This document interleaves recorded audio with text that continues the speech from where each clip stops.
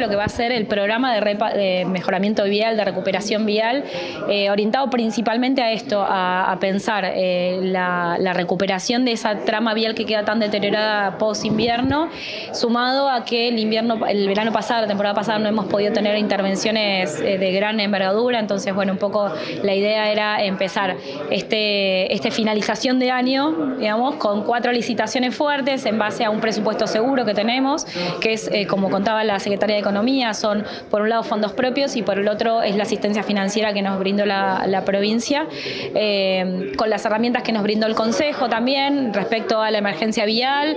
Eh, así que, bueno, en ese, en ese combo eh, beneficioso arrancamos estas cuatro licitaciones. Fondos destinados para esta mm, inversión, para la repavimentación, tenemos aproximadamente 4.000 millones, donde 3.000 millones provienen del convenio firmado entre el intendente y el gobernador de la provincia. Esto es algo importante decir que van a empezar ahora con dos licitaciones que van a estar llamando. Son cuatro licitaciones, una ya se encuentra adjudicada y, está mm, a la espera de que el clima permita iniciar la obra, que es de 1.122 millones con fondos exclusivamente mm, propios. Y las otras tres están en proceso de, mm, de licitación eh, también son para iniciarse ahora, termina el proceso de licitación y estimamos que en noviembre se estaría comenzando la obra y esas tres son con fondos de provincia. Con respecto a bueno, gastos también, porque son muchas las obras, eh, digo, y eh, el pensar ahora en modificar, ¿no? digo, más allá de lo que es el presupuesto del año entrante, sino cómo fue el, transcurso de estos meses. ¿De dónde ha salido ese aporte, digo, de la municipalidad para poder concretarlo ahora? Bueno, en general los fondos que se están invirtiendo propios vienen de coparticipación.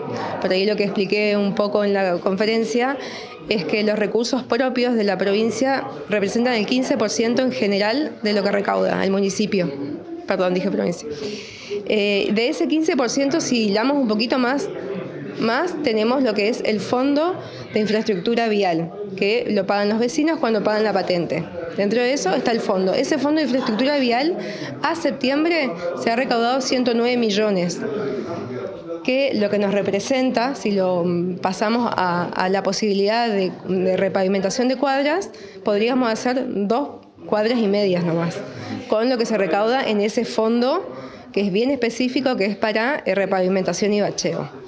Eh, después sí, obviamente tenemos el resto de los recursos propios pero mm, y, la coparticipación, que hoy en realidad los 1.122 millones son de coparticipación.